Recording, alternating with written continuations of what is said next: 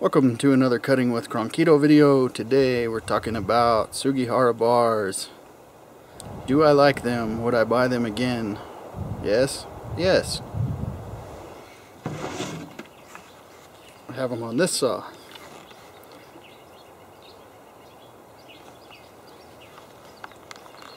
Wearing part of my other saw.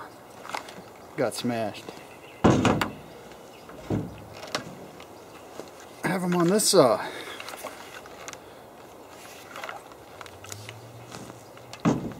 Which is actually the bar off of my little saw that got squished. And have one on this saw.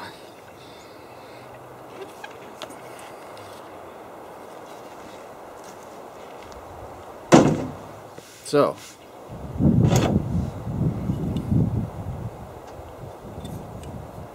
they've got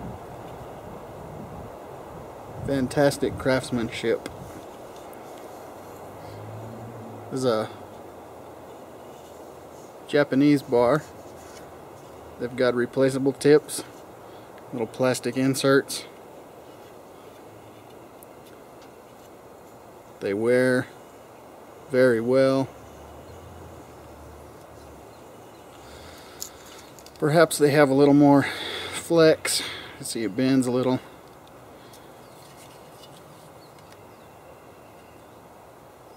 But get used to it real quick.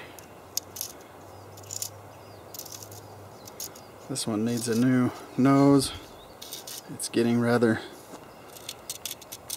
worn, pointy. When you get them at first, the tip is black.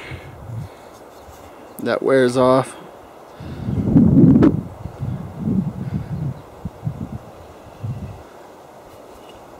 The branding wears off. Mostly. You see a little bit here.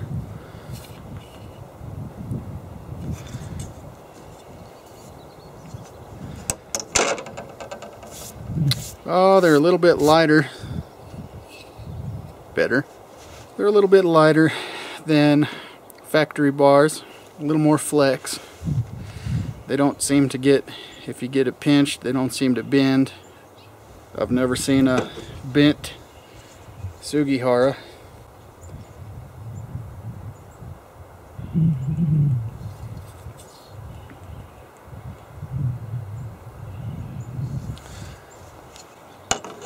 so they always seem to bend back and we get a good couple of years use out of them the price is real comparable to a factory bar. Look, it's been in around $100 for the 20 24 inch size.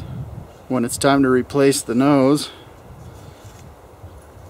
these three, one, two, three rivets hammer out.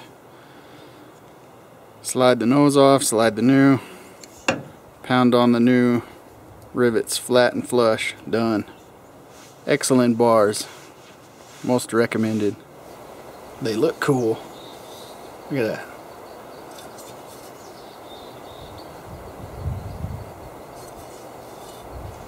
I like them.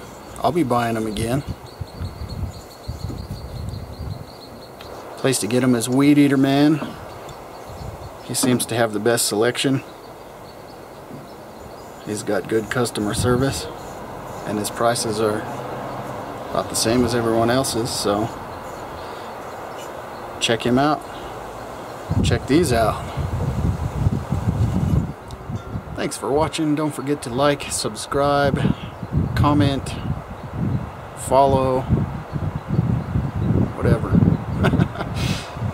Till we meet again. See ya.